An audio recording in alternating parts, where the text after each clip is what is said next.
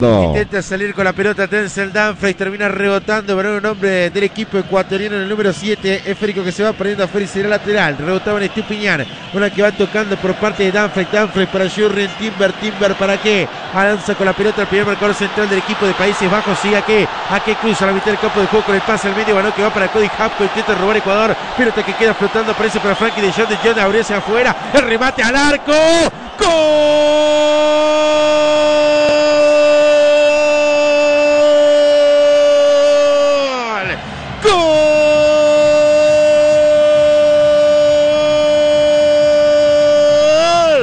Países Bajos a los 5 minutos la movieron de izquierda derecha, derecha, izquierda. Y aparece este Cody Hapco que se transforma en ídolo de la selección de los Países Bajos. Este delantero que se coloca otra vez como el hombre que abre el marcador para que la naranja esté ganando 1 a 0, para que se ilusione de quedarse con el grupo e ir paso a paso para tener todo Qatar de color naranja.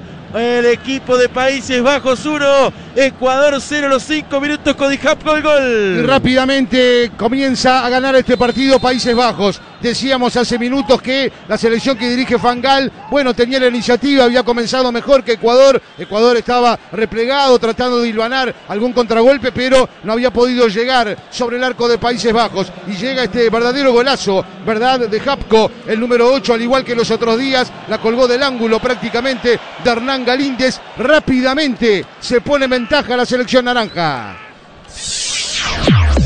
Vamos que vamos el fútbol país. Acá la va manejando el equipo de Países Bajos. Termina robando Ecuador. Atención que lo agarra mal parado el equipo naranja. Apronta el disparo Estupiñán. El arquero está.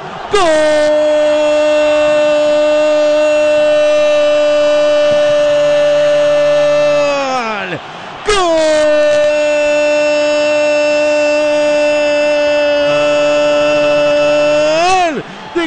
Y nada más y nada menos que Ener Valencia. Aparece en el reporte que deja servido prácticamente el arquero Rupert para que otra vez en el rebote aproveche anotar el gol Ener Valencia para encontrar el empate. En Ener Valencia que es goleador de Ecuador en esta Copa del Mundo que es gran figura a lo largo y ancho de este torneo que otra vez dice que Ecuador sigue en la pelea del partido. Ecuador 1 Países Bajos 1 a los 49 minutos está celebrando la tri. Ecuador empata el partido de la mano y otra vez confirma de él del goleador de Valencia. Y ahora sí se hace justicia con el trámite del partido, definitivamente. Este sí es gol válido para la selección ecuatoriana. En el arranque del segundo tiempo, esa especie, como decimos siempre, de goles psicológicos. Una muy buena jugada de la selección ecuatoriana, justamente el remate allí de plata no la pudo contener Luper, le quedó a Valencia, que prácticamente la acarició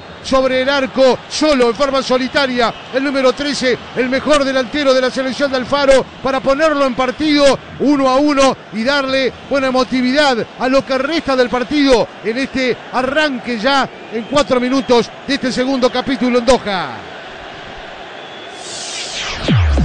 Vamos que vamos, el fútbol país.